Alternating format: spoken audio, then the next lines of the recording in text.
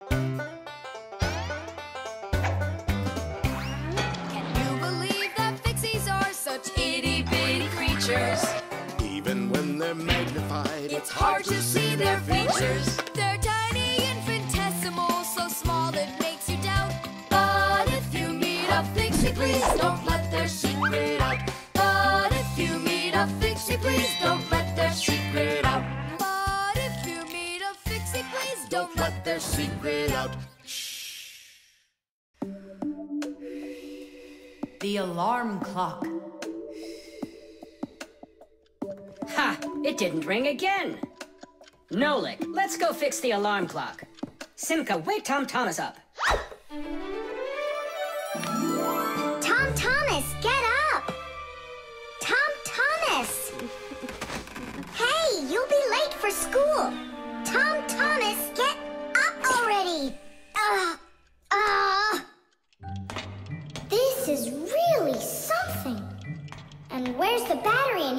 No, this is an old mechanical alarm clock. It doesn't work with a battery. It uses a spring.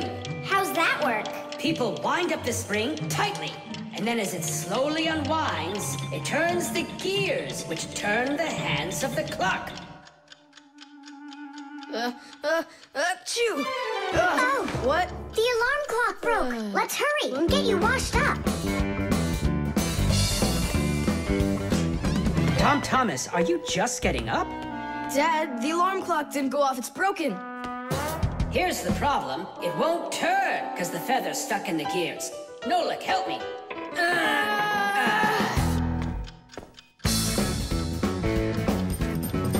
Papus, what's going on? It looks like it's an earthquake. Huh, it really is broken. About time to throw out this old piece of junk. Tom Thomas, I'm off to work. Don't be late for school. I won't. Where are we? In the trash can. And what's gonna happen to us? Well, you see, Nolik. People throw out broken things without a second thought. Even appliances that can still be fixed end up in the trash all the time. And the trash is taken to a horrible, deadly place called the dump. If a fixie happens to be inside a broken appliance, he will come face to face with great danger. Once, my uncle got thrown into the dump buried inside an old TV. He barely managed to jump out of the bulldozer's path, and it was a miracle he didn't end up in the incinerator. After that, he just roamed around the huge dump, trying to fix anything. He became totally crazed. Whew. Good thing the Fixie Rescue Squad managed to find him and bring him back home. I don't want to scare you, but we might be taken to the dump, my boy. Papus, I'm scared. Huh? Where is the alarm clock? Maybe my dad took it to get fixed. but Nolik and Papus are in there. Now just a little bit further. Ah! I don't want to go to the dump. No tears. There's only one way out of here. We need to fix the clock and make it ring. But how? Inside the clock, there is the main spring, and there's also a second spring. The second spring is held still by a brake, and so it waits. When the little hand reaches the time the alarm was set to go off, the spring jumps off the brake, and the gears are free to start turning. That makes a little hammer beat the cup of a bell very, very quickly. And that's how an alarm clock rings. So this feather is stopping the gears and not letting the hammer strike the bell. Exactly. I'll start rocking the gear back and forth, and you tug it. And one, and two, and three. Tadish!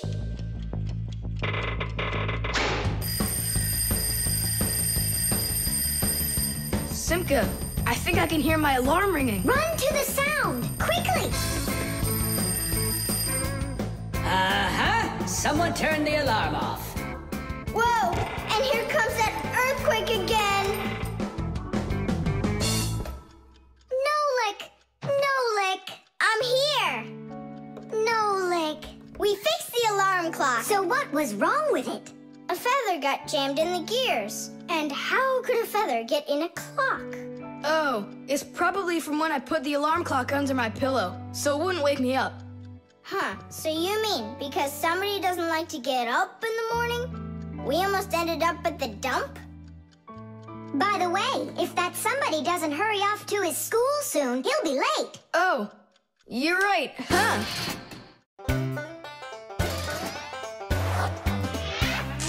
Fixies go to fixie schools and study to be masters. There's so much they need to learn To save us from disasters.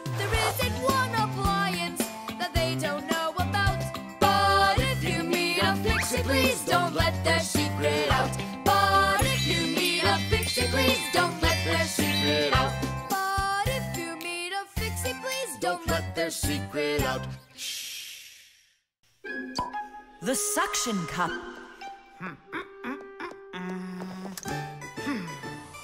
Where's Professor Eugenius? Did you see him? Not yet. Strange. He told me he'd be here today to conduct some tests. Rampus, right here under the glass. There's a note. Hmm. Dear friends, That means the note's for us. That's because Professor Eugenius can always count on us. I'm off for a conference today. So what should we do? While I'm away, please keep an eye on each of my tests. There's the wristwatch. And where is it? It's right there.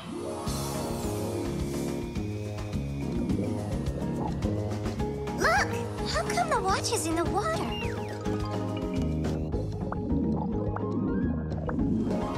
The fish can know what time it is? Nola, don't be silly. This is the test he made for the watch. You see? It says water resistant right there on the back. That means that water shouldn't get inside of it. I see. So the professor needs to check if it will work underwater. Understand? Ah, yep, I got it. The watch is working. So now, the doorbell test. We'll go look. It's over there.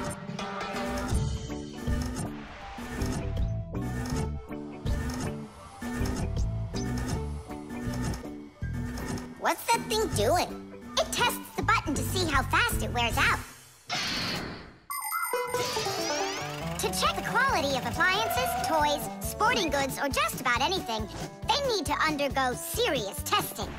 Take, for instance, telephones. They need to be tested with both heat and cold because they have to work in places as hot as Africa and as cold as the Arctic. Computers are tested to make sure they can be shaken and rocked, too. That way you can be sure they'll work on a desk at home, or outside in the park, or while you're taking a ride. Different kinds of products need different kinds of durability tests. For example, athletic shoes and car tires are rubbed and squeezed over and over to see how long they are going to last. Yes, testing's very important. Without testing, a machine or appliance could let you down at the very worst moment. Guests come to visit once a week, and once every month a hooligan comes, pushes the doorbell, and runs, then I figure this doorbell will last right around 400 years. That's long. The doorbell is still working. That's very good. And also, uh, What? I don't know. We need to turn the note over to read the end. But how? Oh, raise the glass, that's all.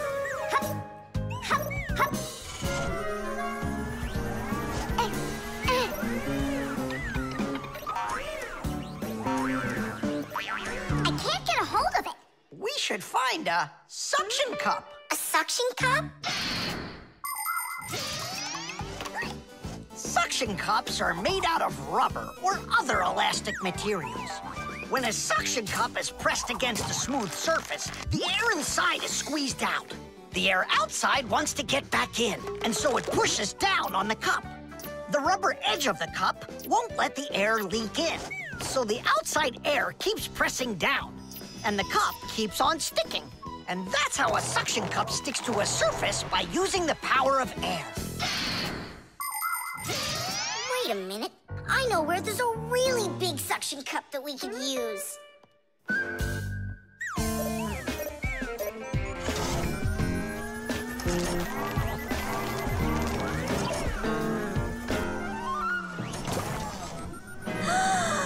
A huge suction cup, Nolik. Stiddies, stiddies, stiddies! Well done, Nolik. Only we need to hurry before air gets under this suction cup and it unsticks. My suction cup will never unstick. Well, let's see what it says here. Simka, you'd better hurry. And make sure nothing gets broken here in the laboratory while I'm away. Huh, and what could get broken around here? Ah,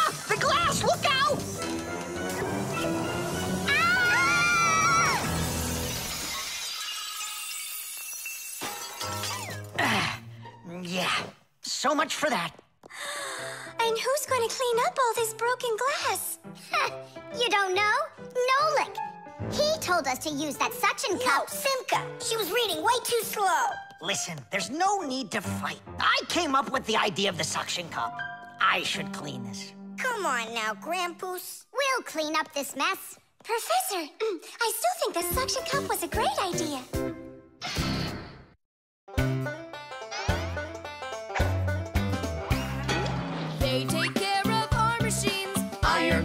Irons, and toasters, MP3s and TV screens, even roller coasters. Without them, clocks stop ticking. Without them, lights go out.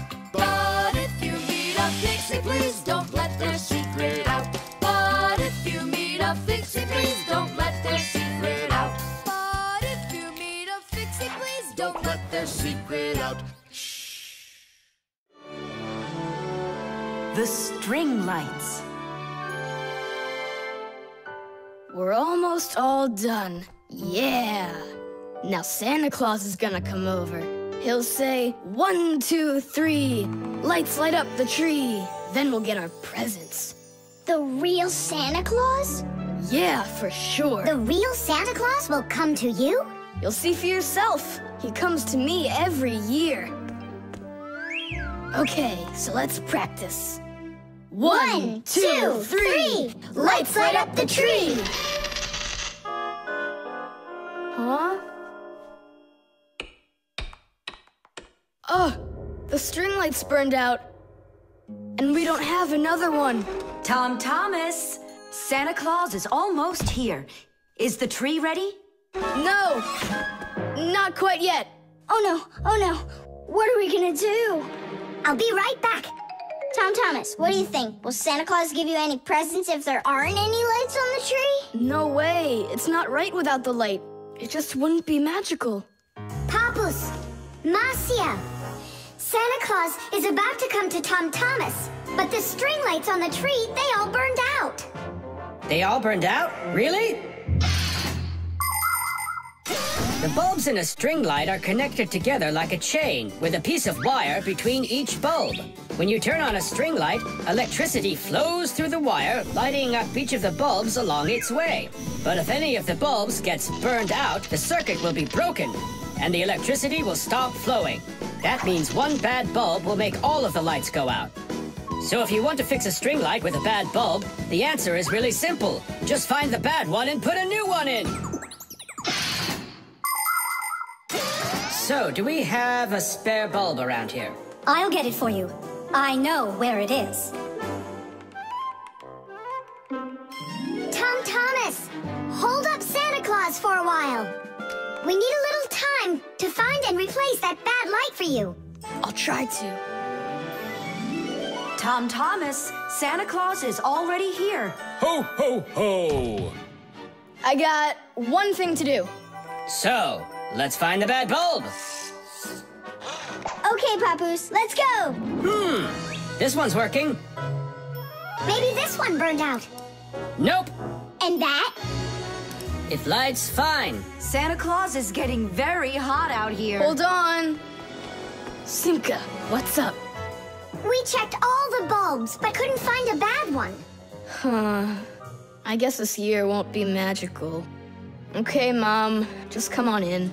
Ho, ho, ho! Hello there, Tom Thomas. So tell me now, have you been good all year? Huh, why aren't the lights on the tree burning? So then let's say it together. One, two, three. Ow! Papus, I found one more bulb. Here's the one that's not working. One, One, two, two, three. Lights, light up the tree. Huh! Now we need to replace this bulb with a new one. So where's Masia? Show your light, O tree.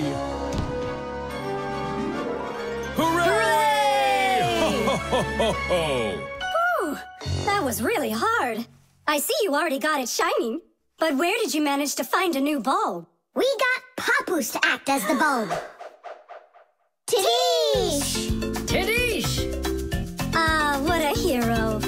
Up so we can put this bulb in. On Christmas Eve, on Christmas Eve, on Christmas Eve, our spirits light up. Whoa! And on the tree, yeah! on Christmas Ah, Eve, nice box. the lights burn brighter. Every year no one is expecting, from some place that no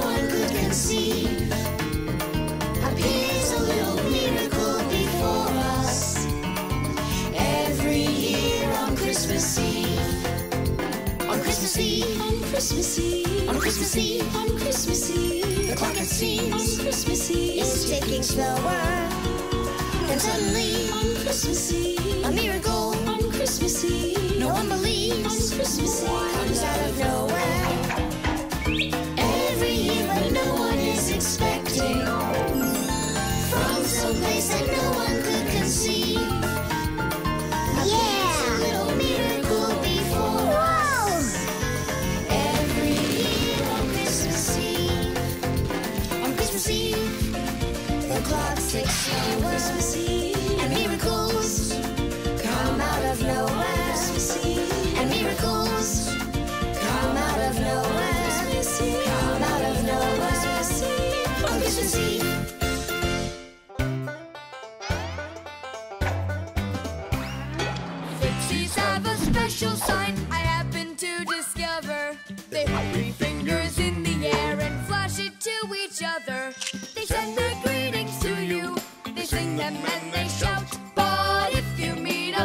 Please don't let their secret out.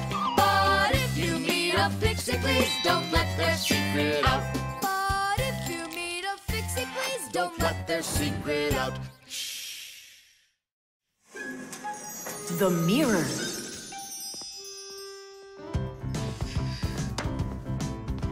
Hi there, Tom Thomas.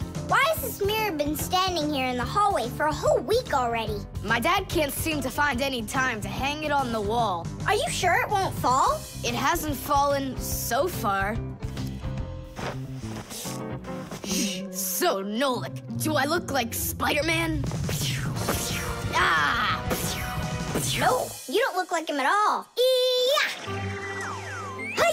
You can't climb on walls like Spider-Man. Yeah, I'm sure you can do it. I can do it. Just give your chewing gum to me.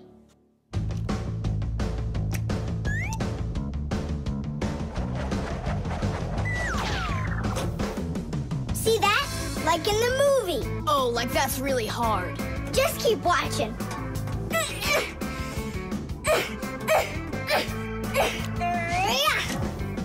That's hard. What the only spider fixie in the whole wide world can do.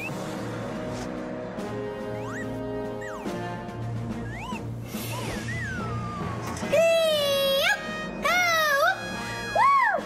Whoop! Ah! Catch me! I gotcha! The mirror! Whoa!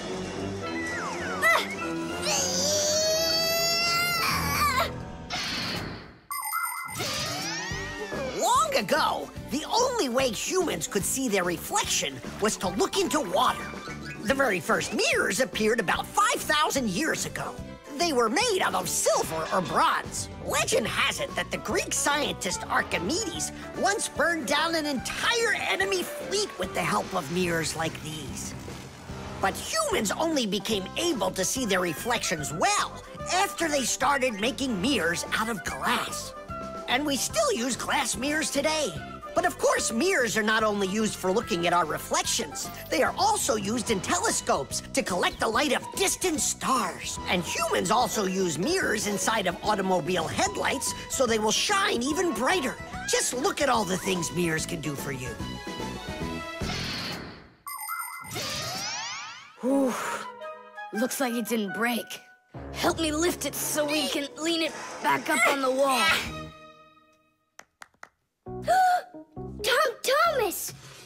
I've gotten a reflection in the mirror. That's impossible, because only vampires can't see their reflections. Or ghosts. But I'm not in there. So then, I guess you've become a ghost. No,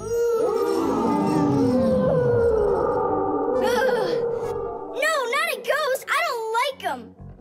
Hey, what's all the racket? Did you guys get yourself into trouble again? Simka! Me and Tom Thomas were playing Spider-Man, and I I turned into a ghost for some reason. Yeah, ghost. That's silly. They don't even exist. Oh, you don't have any reflection either. Simka! You're a ghost just like I am.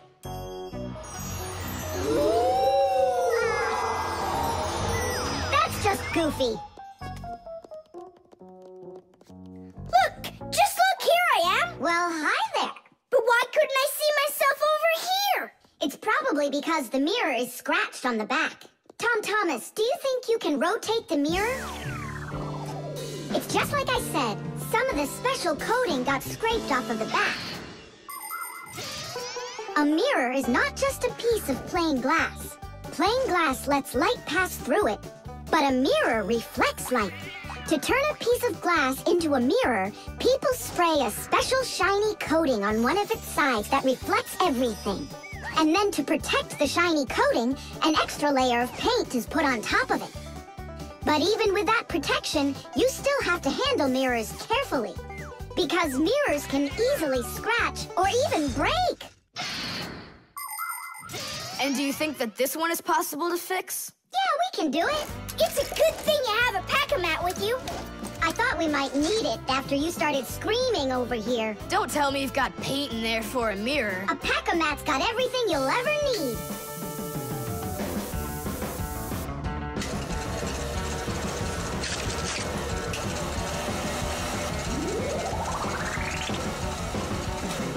It's all ready. My dad's coming. Tom Thomas, what are you doing here? Checking if you hung it. Yeah, right. I'll definitely hang that mirror on the wall soon.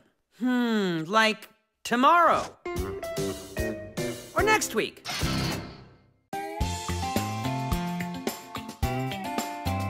But if you need a fix-it, please don't let their secret out. But if you need a fix-it, please don't let